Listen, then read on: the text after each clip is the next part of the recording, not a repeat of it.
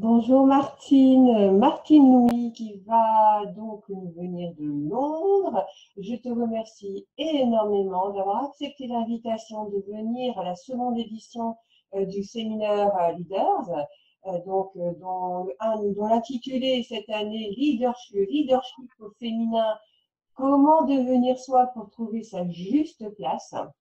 Et euh, donc, euh, je suis persuadée que tu vas pouvoir aider les personnes présentes à y répondre grâce à ton expertise.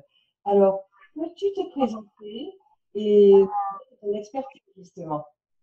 En tout cas, bonjour Hermina, et je suis très honorée de participer à, ce séminaire. Euh, voilà, donc en fait, euh, mon expertise, euh, c'est euh, la finance, l'argent. C'est un sujet qui est plutôt répulsif dans l'esprit des, gens en, règle générale. Et pour, faire très court, j'accompagne les entrepreneurs et plus particulièrement les, femmes et les organisations, les entreprises à transformer leur relation à l'argent afin de développer un business rentable euh, durable et dans une vie épanouie. Parce que pour moi, c'est important euh, quand on est entrepreneur d'avoir euh, un équilibre dans, dans, sa vie. Voilà, voilà en, quelques mots ce que je, j'accompagne. D'accord. Et ce que j'ai trouvé remarquable, c'est aussi ton parcours de leader. C'est-à-dire que tu as vécu quand même un changement de vie profond. Tu as, tu es, tu es française d'origine, c'est bien ça, et tu t'es restée à Londres, tu as suivi ton âme de femme, et c'est là que tu as décidé à te former en tant que money coach. Tout à fait. En fait, euh, j'ai travaillé plus de 33 ans dans la finance, salarié dans un grand groupe, euh, j'ai gravi les échelons, etc. Et je sentais que bah, j'étais à ma place jusqu'à un moment où la crise 2008 euh, a, changé complètement la donne en matière d'argent, de, finances, les banques. Euh, le métier devenait très compliqué. Et puis, euh, par le fait de hasard, mais il n'y a pas de hasard, j'ai suivi mon compagnon qui habitait à Londres et donc j'ai tout quitté à plus de 50 ans. Et ça a été un challenge énorme de me retrouver mère, de me retrouver euh, dans un pays que je ne connaissais pas, sans revenu, sans travail, n'avait jamais été n'avait jamais été dépendante avant dans ma vie. Et, et voilà, et donc euh, j'ai fait un coaching qui a complètement transformé ma vie. C'est, j'ai découvert le monde du coaching et de ce nouveau paradigme qui est le money coaching. Et j'en ai fait euh, bah déjà mon, mon outil de développement personnel, et c'est en ça où je vais pouvoir euh, aider les, gens qui vont être présents au séminaire, c'est que j'ai fait les expériences moi-même. J'ai été euh, salarié d'un grand groupe, euh, j'ai été euh, pratiquement homeless, comme je le disais ce matin dans mon mastermind, à me retrouver sans salaire, sans revenu, à un moment où même dans ma relation, les, choses étaient devenues très compliquées par rapport à cette dépendance. Euh, et, et j'en ai fait ma carrière aujourd'hui je suis passionnée. Euh, euh, je, je, transforme, je transforme ma vie, celle de mon compagnon qui lui aussi est devenu indépendant. Euh, et, et, voilà, c'est juste un parcours euh, d'expérience, de haut et de bas quand on est entrepreneur. Euh, et c'est tout, tout, tout ce parcours que je vais expliquer euh, aux personnes qui seront présentes. En, tout cas, tu es très inspirante. C'est, tu as une force en toi, extraordinaire, ça se sent, avec, euh, avec toute la sagesse féminine qui est bien là, qui est bien présente. Et euh, j'ai trouvé vraiment très intéressant d'entendre euh, ce terme de développement personnel qui est qui n'est pas forcément euh, bien entendu de temps en temps parce que on parle de développement personnel dans toutes les sauces, mais de le voir sous l'angle de l'argent, que l'argent soit un outil de développement personnel, ça c'est très intéressant, très intéressant de l'entendre. J'ai hâte de découvrir ton ta conférence le 6 juillet. Donc, de quoi vas-tu nous parler le, le 6 juillet? Alors en fait, tu, tu l'as dit, hein, c'est l'argent est l'outil de développement personnel. Quand on commence à travailler sa relation à l'argent, ce que je n'avais jamais fait. J'ai travaillé 30 ans dans la banque et la finance, jamais j'aurais imaginé que travailler, d'abord, on puisse travailler sa relation à l'argent. J'ai rencontré des tas de gens qui avaient des peurs, des frustrations, des gens qui répétaient des dépôts de bilan, d'autres, euh, même avec des millions sur le compte en banque, avaient des peurs de manquer. Voilà, tout ce genre de, de, de, négatives émotions euh, qu'on peut avoir par rapport à l'argent. Et en fait, euh, le travail, c'est ce comportement par rapport à l'argent qui, qui va vraiment toucher notre comportement par rapport à la vie. Alors l'outil que j'utilise et les outils, on le dit un peu dans l'introduction de, de, mon séminaire, euh, c'est un mélange de finances, bien évidemment, mais aussi de psychologie et de spiritualité. C'est un peu tout mon parcours euh, de vie. Euh, et au niveau psychologique, on utilise les archétypes, toute la psychologie jungienne. Qu'est-ce que sont les archétypes? Les archétypes sont simplement des représentations de comportements humains qu'on utilise dans la mythologie, qu'on utilise dans les contes pour enfants pour exprimer, ou en tout cas pour faire pour exprimer des comportements humains. Et donc, ce que je vais présenter lors de mon séminaire, c'est justement un descriptif de, ce processus à travers les archétypes. Alors, pour, pour faire très très court là maintenant, ils sont au nombre de huit. Euh, je les cite simplement l'innocent, la victime, le martyr, le fou, l'artiste créateur, le tyran, le magicien et le guerrier. Et en général, je rencontre énormément d'entrepreneurs, comme moi-même d'ailleurs, j'en ai fait l'expérience, alors que je me sentais euh, complètement euh, pleine de pouvoir et de puissance parce que je savais manager l'argent, épargner, faire les montages financiers, analyser les, bilans d'entreprise, etc. Et en fait, euh, j'étais très innocente quand je me suis retrouvée face à moi-même, sans carte de visite, euh, avec un, business que je n'avais pas encore construit.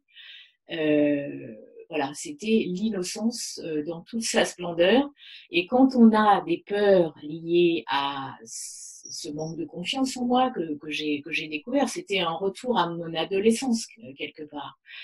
Euh, eh bien, c'était cet archétype qui était très actif avec le tyran également, c'est cette espèce de, double face de la pièce de monnaie, hein, le, pile et le face, alors que je me voyais pas du tout dans, dans cette énergie-là.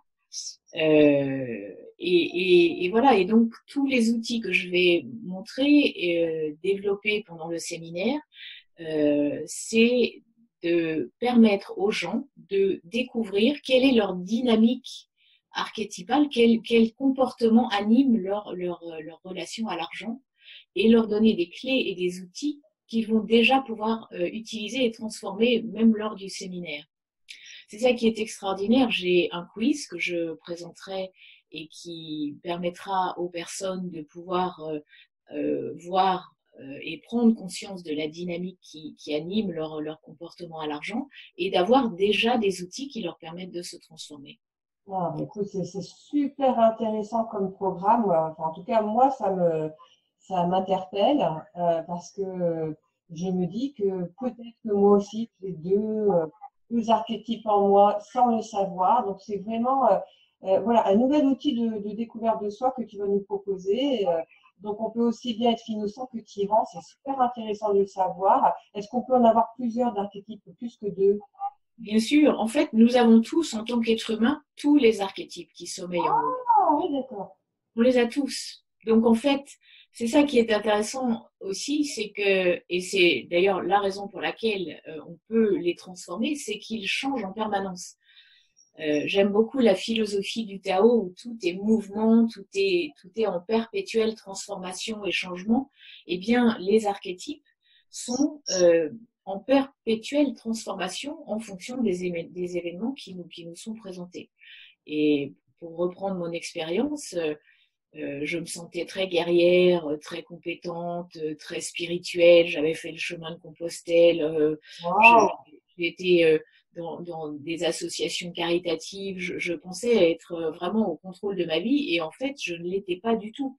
Mes, mes ombres euh, non réglées de, de, mon adolescence et de mon enfance sont, ont ressurgi lorsque je me suis retrouvée face à moi-même dans, dans, dans, cette situation complètement déstabilisante où je n'avais plus de revenus, complètement dépendante de mon compagnon, dans une culture que je ne connaissais pas. Je crois que des, des, personnes que je rencontre euh, divorcent ou se retrouvent euh, sans, sans revenu euh, après un chômage ou une maladie grave ou, ou des, des, des, situations un peu complexes dans la vie, ou, ou, ou, voire même dans une propre relation, parce que l'argent touche énormément la qualité de relation que nous entretenons dans un mariage, un, un partenariat d'entreprise ou ce genre de choses. Et donc ça touche tous les domaines de la vie. L'argent, on ne peut pas y échapper à l'argent. L'argent, euh, là, je suis en train de, de j'ai une cliente qui, qui, est en train et qui me disait, euh, j'ai pas de problème à l'argent, j'avais un revenu, enfin, elle avait un revenu, un salaire, une, une, vie de couple épanouie, etc. Et là, elle est en train de faire face à un héritage avec des frères et sœurs, toute une lignée familiale. Et là, les choses se compliquent. Et là, on, on commence vraiment à descendre dans les tréfonds de la relation humaine et la filiation, etc. Donc en fait, on n'échappe pas à cette relation à l'argent. sauf, sauf quand on est dans, une, dans, dans, dans, les tribus, dans des tribus africaines ou dans des voilà, où là euh, la relation est basée sur l'échange et, euh, et, et, même ces tribus-là, euh, on, on, va, on, on, va leur proposer par exemple d'installer une épicerie. Ils vont être à l'encontre de l'installation de cette épicerie euh, parce que il y aura l'intervention de l'argent, de la monnaie, et euh, qui pourrait bouleverser tout leur échange humain. Et j'ai trouvé ce témoignage vraiment très, très intéressant. Je l'ai lu, c'était dans un, dans un ouvrage, et j'ai trouvé ce, ce, point de vue extraordinaire de, de, de, de, dire que les personnes qui ont évolué sans cette monnaie argent euh, la refusent. La, mm-hmm pour conserver les relations humaines. en fait, les archétypes, excuse-moi, je t'ai coupé, mais les archétypes euh, touchent, la manière dont je le présente touche euh, les, les, comportements humains. Mais euh, il y a un magnifique ouvrage que je recommande, c'est l'ouvrage de Bernard Liétard euh, qui a écrit Au cœur de la monnaie. Et il descend vraiment euh, au fond du, du processus de, de relation à l'argent qu'entretient nos sociétés, qu'entretient oh. notre société.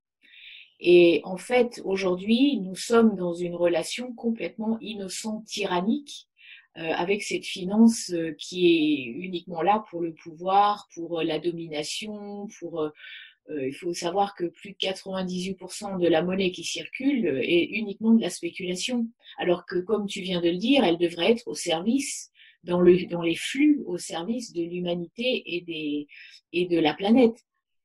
Et donc, c'est tout ce travail euh, que j'accompagne, euh, et surtout les entrepreneurs, pour aider justement à donner du sens euh, et à mettre l'argent au service de nos valeurs.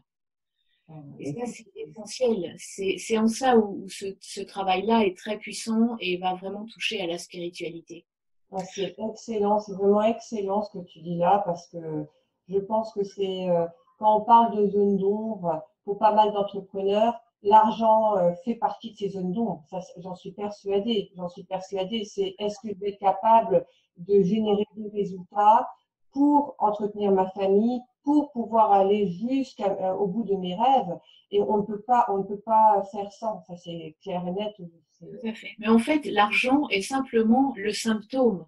Quand tu viens de, de dire est-ce que j'ai confiance en moi, c'est pas l'argent qui a pas confiance, c'est, c'est, c'est le symptôme uniquement qui va révéler notre manque de confiance, notre abus de pouvoir, notre victimisation, notre. Là là. Beaucoup, de femmes, beaucoup de femmes se retrouvent dans des dynamiques aussi de martyrs qui donnent, qui donnent, qui consacrent 110% de leur temps et de leur vie à la famille, aux enfants, etc. Mm. et qui s'oublient complètement. Donc, ce sont des postures qui ne sont pas saines non plus.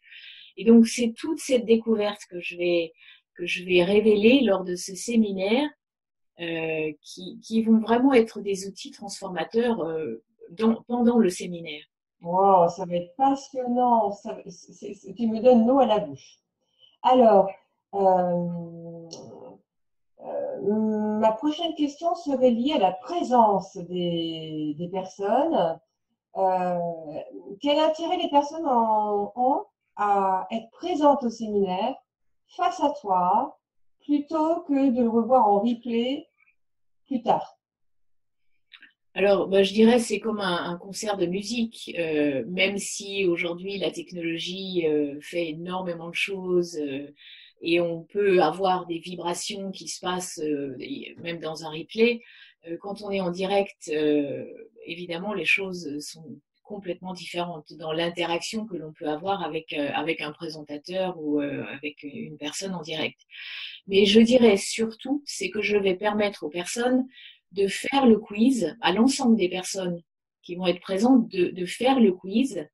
Et alors évidemment, euh, pendant l'heure de présentation que tu m'accordes, ou les 45 minutes plutôt, j'aurai pas le temps d'expliquer de, le quiz à tout le monde, mais euh, je permettrai à un petit panel sur scène de pouvoir analyser le, le quiz et de pouvoir vraiment euh, donner des clés euh, aux personnes qui seront présentes et qui font forcément miroir euh, auprès des autres personnes. Mmh. Et puis j'offrirai avec mon bonus également euh, la possibilité d'avoir des consultations gratuites sur les résultats de, de, leur quiz.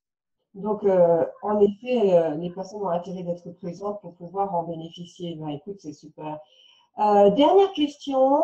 Quels seraient les trois conseils euh, pour euh, développer le leadership au féminin euh, à partir de ta propre expérience de vie et expérience professionnelle, bien sûr?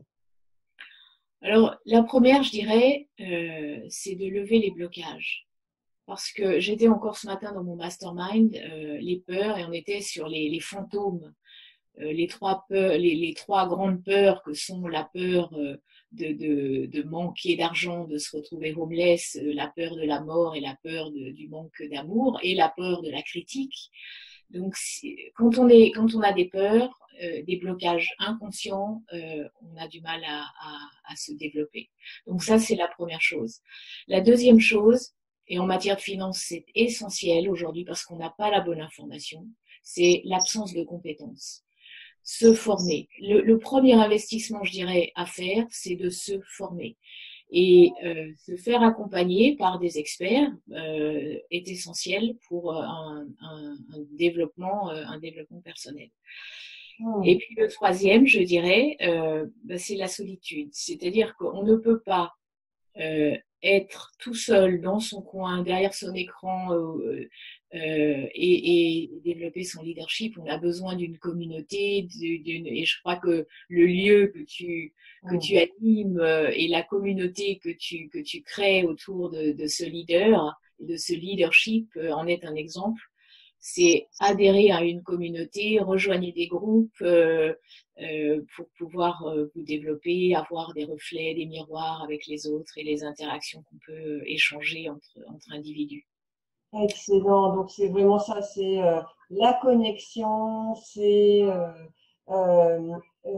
casser les murs, mais aussi le plafond de verre qui est typiquement féminin. Tout à fait. Il y a aussi le plafond de verre à tout à fait. Dans les blocages dont tu parles.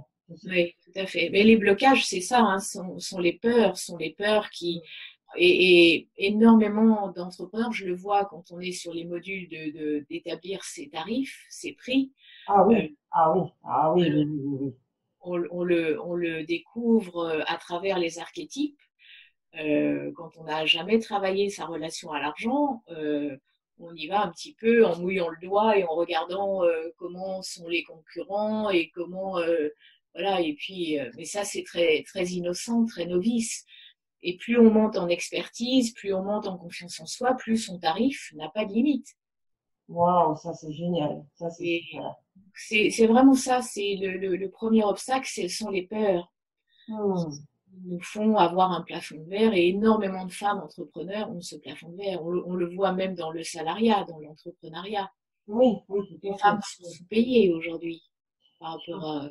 Oui, oui, oui. Donc, euh, vraiment, le, le, plafond de verre, il peut se briser uniquement quand on travaille le mindset. Il faut vraiment travailler le mindset, comme tu dis, euh, et c'est ça qui va faire toute la différence pour son leadership. Hmm. Oui. En tout cas, j'ai hâte, j'ai vraiment hâte de t'entendre. sincèrement, c'est quelque chose qui va parler à tout le monde. J'ai hâte de voir aussi les prises de conscience de toutes les personnes que tu vas inviter sur scène et également les personnes qui seront dans le public. En même temps, c'est, ça va être du, sur-mesure, ce séminaire, il est intime, privé, euh, même, même les personnes qui seront assises et non sur scène, c'est comme si elles étaient déjà sur scène. Donc, ça va être vraiment, vraiment, vraiment une très, très bonne ambiance et beaucoup, beaucoup d'apprentissage et une très, très belle énergie. Et je suis très heureuse de pouvoir t'accueillir à Rennes. Euh, voilà, donc je pense que ça va être un moment inoubliable pour nous tous qui vont être présents. En tout cas, merci beaucoup Hermina. Je suis convaincue de l'interaction, de l'intimité euh, et de, de la, la, brillance euh, de, de, de, ce séminaire. Donc j'ai hâte moi aussi d'être euh, le 6 juillet pour donner le meilleur de, de moi-même. Merci beaucoup Martine et, et à très bientôt. Merci. Au revoir Hermina.